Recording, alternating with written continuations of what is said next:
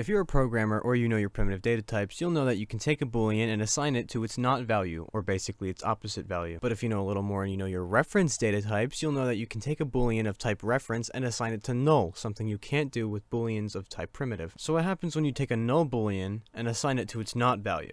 You you just get a runtime error. That's that's all.